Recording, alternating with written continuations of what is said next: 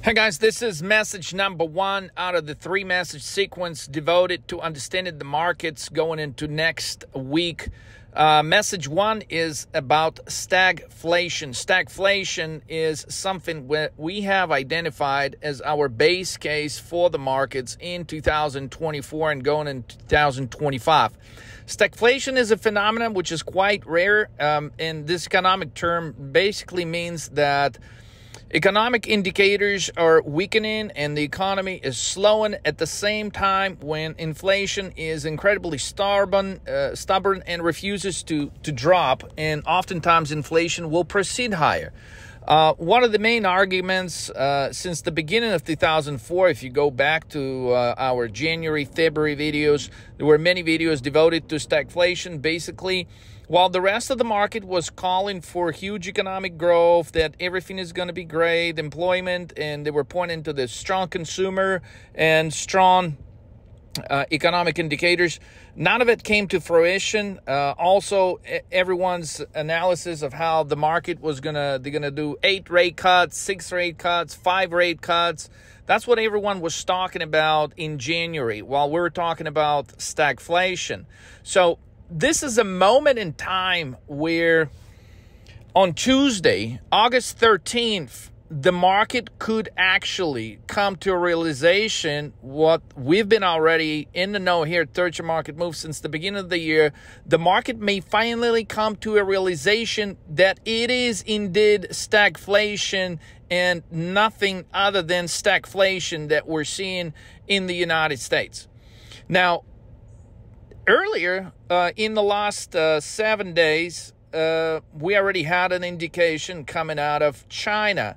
Uh, Chinese uh, lowered their G- uh, GDP forecast to 4.8. Now that's like the lowest in in dozens of years, and the CPI number actually went up. So already in China, you have a case of stagflation, where eco- economy is weakening while um, prices and inflation uh, is actually ticking up.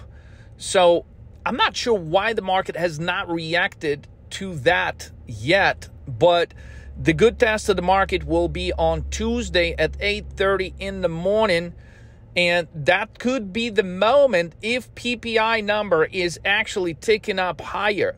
That could be the moment of great realization for the market. Oh shit we're actually in stagflation. Now, not to confuse the stagnation.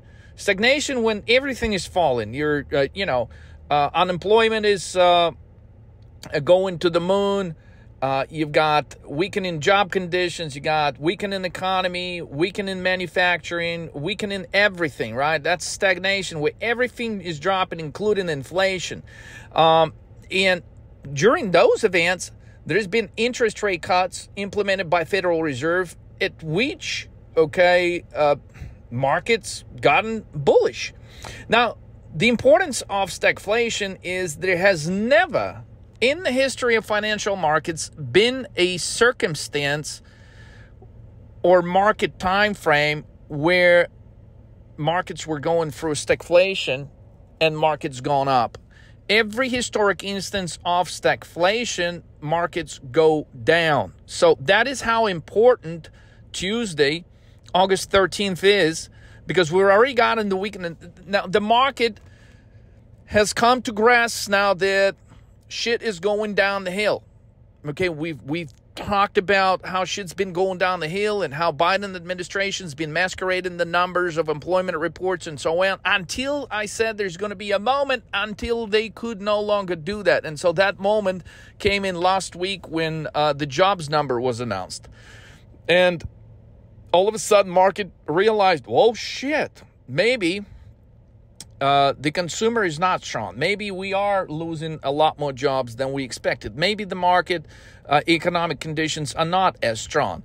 And, you know, it's kind of crazy because there's been multiple uh, warnings about this going back to the Nike report when Nike collapsed over 30%. That was a, a, a, warning sign that, hey, the consumer is not strong, not just in, in the United States, but worldwide. Nike is one of the one of the biggest markets for Nike is China, which is why I thought it was so relevant to pay attention that stagflation case has already uh, occurred in China.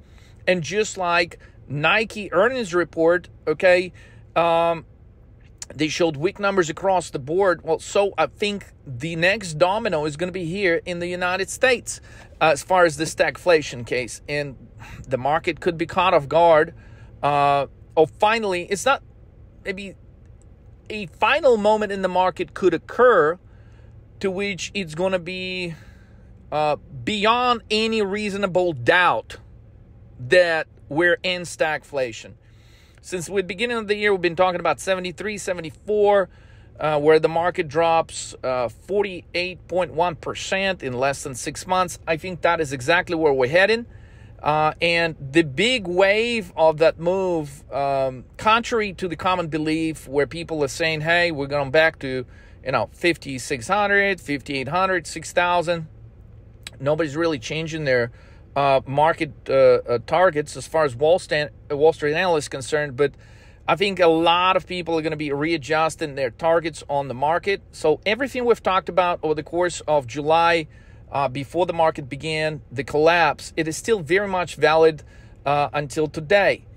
So that is the case of stagflation and the importance of stagflation and the moment at which market reacts to it. Now, the one thing I could be wrong about okay, clearly, is it may take the market a moment to react. So, just like we've seen on many occasions when Federal Reserve, uh, you know, has their meeting, we'll see a, a certain reaction in a certain direction initially, but then over the course of next few trading days, the market comes to a realization, well, shit, the initial reaction was the false reaction and it begins moving in the opposite direction. So basically, guys, keep an eye on PPI number. I know most of the Wall Street analysts, they're not talking about it. What they're talking about it is the next Thursday uh, report, the jobless claims. It is the jobless claims bullshit on Thursday, uh, two days ago, that actually has moved the market higher. And in no shape or form these numbers were uh, real. We all know that. Uh, and come next Thursday, they're probably going to be readjusting the numbers that they have just reported uh, Thursday, two days ago. But at that point, hey, guess what? You cannot return the market reaction back.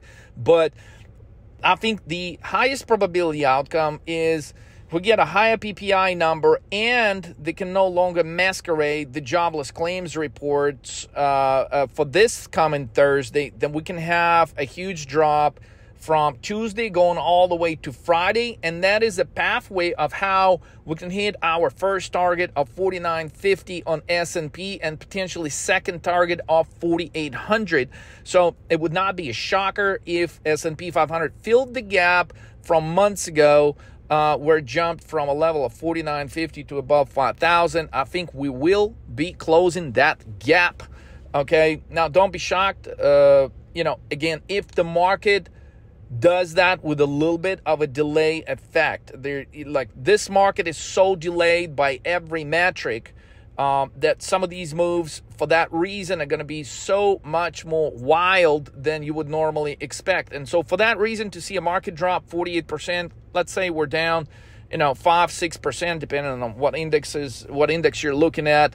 Um, you know, five, six, seven percent. I mean, I'm talking about a possibility of another 40% drop, and a great number of that drop, a great percentage of the drop, could be next week and it's all in the hands of one report, okay? The PPI report. So, um, guys, that's that's focus number one for for next week. Okay, make sure you have your account set up. As I stated in hundreds of videos, if you don't have your account set up for trading futures, you're missing big trades. Why are you missing big trades?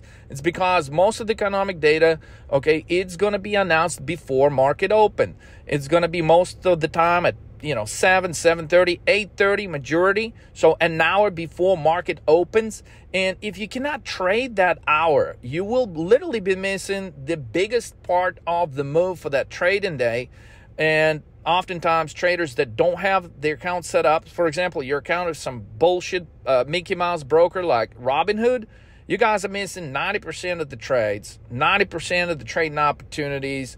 There's no way you can place the trade on the Robinhood, uh, you know, trading uh, futures on S&P 500. Okay, there's no way you can wait till the very last moment to close your trades on the Robinhood. They're going to close your shit at 2, 3, 3.30.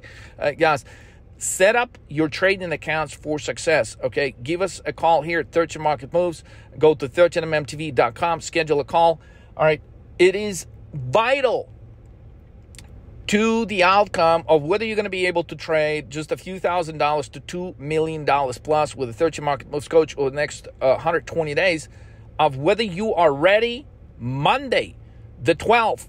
Okay, because on a lot of these positions, okay, it, it could make sense to get ahead of what's coming, not after, especially if you're trading, you know, with an account that's not properly set up to where you cannot uh, place a trade uh, at uh, 8.30 or right around 8.30 time frame on Tuesday. So, uh, message number one, stagflation should be the focus uh, um, of, of the entire market right now on uh, August 13th, Tuesday, uh, 2024, opposed to what most of the market participants believe they should be paying attention to Thursday, uh, and and so I think that is another reason why the markets could be caught off guard entirely, guys. So don't miss potentially one of the greatest and easiest trades in the world before the rest of the world is going to catch up to it. That's why you come to 13 Market Moves.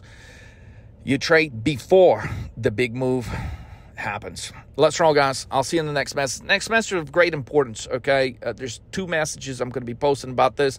One is uh, dealing with the chart patterns.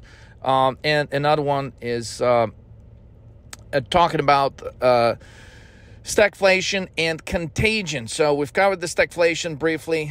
Contagion is is another phenomena which could be taking place at the same time as the market is hit with uh, the stagflation case here. So uh, make sure you review all these audio messages, videos over the weekend. Uh, make sure you're ready to trade Sunday night, 6 p.m. Don't miss any big fucking trades. Let's go.